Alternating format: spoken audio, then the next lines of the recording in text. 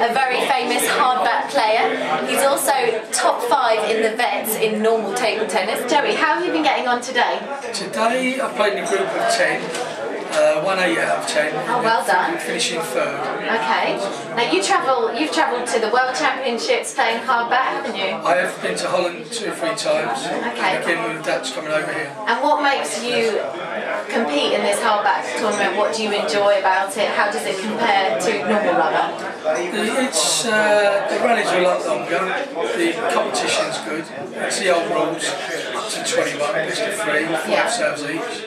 And the friendships you develop, uh, especially with the Dutch guys. Yeah. I've really noticed a, a lovely atmosphere and everybody's really into it. Um, It, it really is. It's like, as a kid, I grew up watching a lot of hardbat stuff. And, uh, it's trying to bring it back, really. back to its roots. Yeah. Definitely. And it is, you know, we were speaking about this with Gareth, it's a complete, uh, we call it the fair play tournament because everybody has the same back. So it's purely down to the skill of the player rather than their equipment. That's exactly right. So the person, you don't have to do the same, uh, where the rubbers are, with spin and that, doesn't come to it, it's down to the person themselves.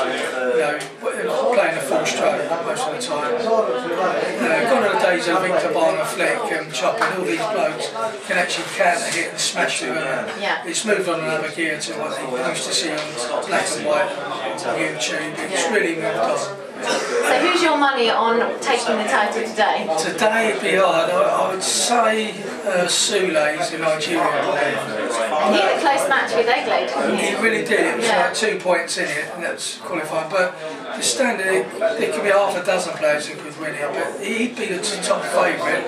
And Billy Peck's playing well. He, Yeah. he's doing very He's well. He's got great technique, hasn't Yeah, he? so, you know, he plays very much like he does with, Yeah, with a normal sponge. You know, And would you say this is the highest standard that you've seen at the it at is indeed. There's a, there's a Polish lad here I played with, and he's normally he's an attacker of sponge.